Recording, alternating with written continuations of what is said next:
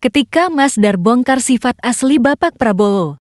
Satu hal mungkin ya, ya harus saya katakan di sini bahwa Pak Prabowo itu tidak suka mendengar seseorang bicara tentang orang lainnya, menjelek-jelekan orang lainnya itu beliau nggak suka. Misalnya dulu ya, misalnya rivalitas Pak Prabowo dengan Pak Jokowi misalnya, dulu waktu masih panas-panasnya gitu. Jangan dikira menjelekkan Pak Jokowi di hadapan beliau terus beliau seneng. Enggak. Oh, Oh, kredit nggak naik. Kredit ya? nggak naik, Bos.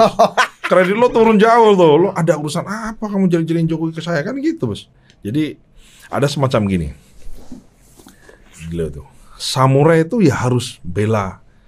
Jadi samurai itu harus loyal gitu. Jadi kalau ada orang kader partai lain misalnya gitu, terus dia belain banget gitu.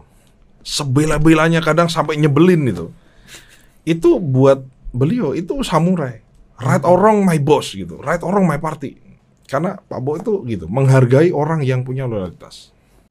Weh, apa yang disampaikan Mas Daryono itu benar adanya kawan.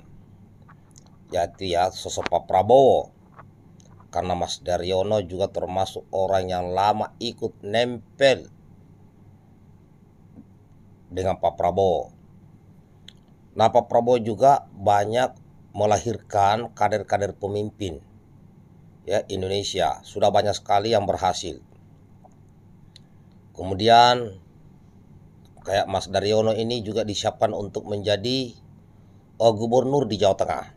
Ya.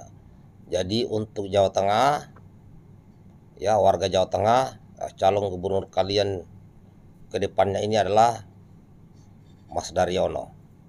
Sip.